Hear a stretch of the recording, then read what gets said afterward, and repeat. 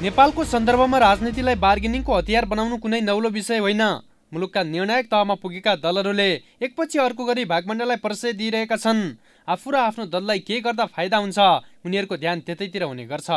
यति भएपछि जनताका मुद्दाहरू बारेमा कुनै वास्ता हुने कुरा पनि भएन। पद पाएपछि आफूलाई नै सबैभन्दा बढी महामहिम ठान्ने दलहरूको चरित्र नै बनेको छ।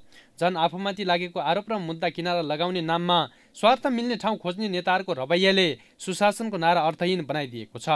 राजसभाका सभापति रवि लामिछानेको पनि सोही प्रवृत्ति देखिएको छ। उनीमाथि लागेको सहकारीको रकम अपचलनको विषयमा बहस चलिरहेका बेला अनुसन्धानलाई प्रभावित बनाउने निकायमा उनी बहाल भए।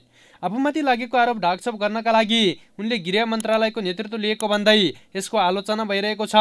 त्यति मात्र होइन नेपाली काङ्ग्रेस लगायतका दलले उनको राजीनामा समेत मागिरहेका छन्। त्यसमा पनि संसदीय छानबिन समितिको माग गरिएको छ तर लामिछाने त्यसमा टसमस देखिएका छैनन्।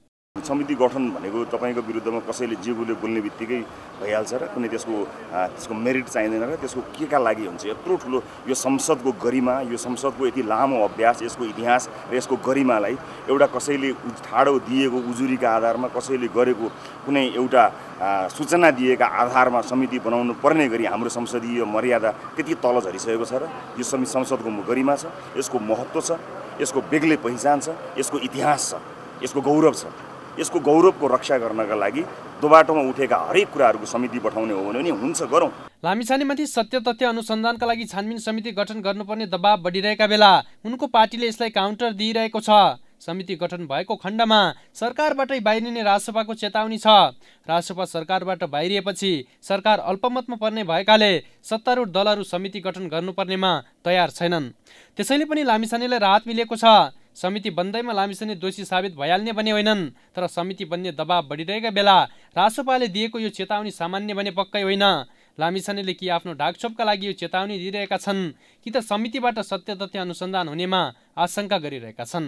सरकारबाट बाहिरिने चेतावनी लामिछानेको बार्गेनिङ मात्र रहेको भन्दै विश्लेषण हुन थालेको छ। रवि लामिछाने अथवा वर्तमान गृहमन्त्रीका बारेमा छानबिन गर्नुपर्ने एउटा यो सहकारीका समस्याका कुरा अथवा त्यसमा उल्झनका कुराहरू लिएर गर्ने भन्ने कुरो जुनसम्म आएको छ त्यो कुराको बारेमा धेरै कुराहरू यो सर्वसाधारण र आफैभित्र रहेका कमी कमजोर ढाकछोप गर्नका लागि बार्गेनिङ मात्रै हो यसको खासै न निकासै रहन्छ न यसले कुनै अर्थ लाग्छ भन्ने मलाई लाग्दछ। शक्ति र पहुँचका आधारमा अनुसन्धान नै प्रभावित बनाउने पुराना राजनीतिक दलहरूका माझमा रासपाको उदय भएको थियो। यिनै प्रश्न र विकृतिको आलोचना गर्दै लामिछाने राजनीतिमा आएका थिए। तर अहिले उनै एकपछि अर्को प्रकरणमा मुछिँदा त्यसले नागरिकमा केही निराशा थपेको छ। उनी दोषी हुन् या निर्दोष त्यो त अनुसन्धानले नै बताउला तर स्वच्छ निष्पक्ष अनुसन्धानमा प्रक्रिया अघि बढ्न किन सकेको छैन विषय गम्भीर छ। क्यामेरामा मनोज खड्काका साथ Narendra Mahatara space four K television. Kathmandu.